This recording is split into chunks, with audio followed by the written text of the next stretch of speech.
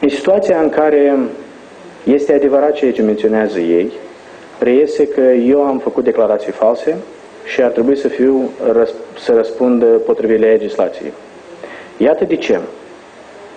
Astăzi am expediat patru, scris, patru scrisori la patru instituții prin care am sesizat Procuratura Generală, Comisia Națională de Integritate, Centrul Național Anticorupție și Serviciul de Informație și Securitate, ca să investigheze dacă este adevărat sau nu, în baza tuturor faptelor și documentelor și, ba mai mult ca atât, um, să solicite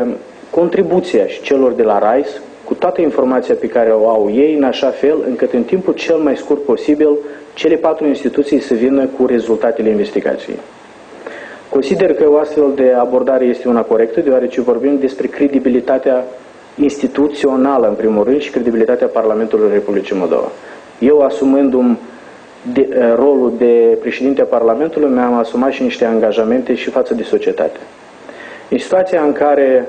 lucrurile se vor adeveri, că eu sunt proprietar, deși bineînțeles consider că asta e o speculație, îmi voi da demisia din funcția de președinte a Parlamentului și mă, mă voi supune acele investigații penale și a răspundere penale pentru falsuri.